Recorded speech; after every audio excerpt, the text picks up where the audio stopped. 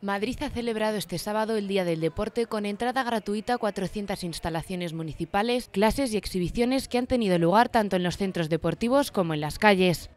Una de las actividades se ha concentrado en la Plaza de Colón, donde se han reunido centenares de personas. Es el deporte sacado a la calle, accediéndolo accesible al público en un espacio emblemático, espectacular, de una capital española como es Madrid. En el día a día, para cualquiera, eh, la actividad deportiva debería ser, la actividad física debería ser bueno, pues, una forma ¿no? de, de eso, de mantenerte sano y de mantenerte feliz.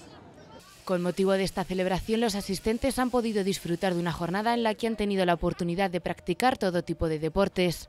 Pues hemos hecho lo del surf, el voleibol, el balonmano de arena, rugby, bueno, un poco todo. Este tipo de eventos ayudan muchísimo porque los niños primero conocen actividades que no hacen normalmente y ven que pueden hacer otros deportes que a lo mejor este no se me da bien, pero sí se les da bien otro.